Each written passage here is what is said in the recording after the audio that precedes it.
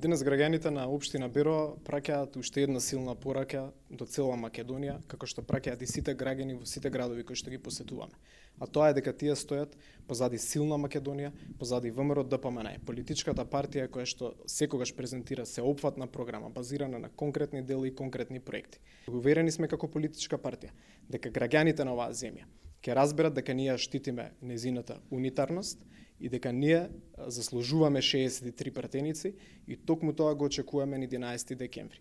За разлика од деструктивноста на главната опозицијска партија, ВМРО ДПМН нуди позитивна програма базирана на конкретни дела и конкретни проекти.